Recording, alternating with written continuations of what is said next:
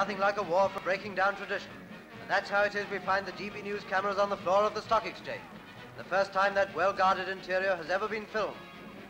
The Stock Exchange Cadet Corps is on parade, carrying on the voluntary work it has been doing for the past 14 years. Guards instructors give the best possible course to boys before they come of age for the military call-up.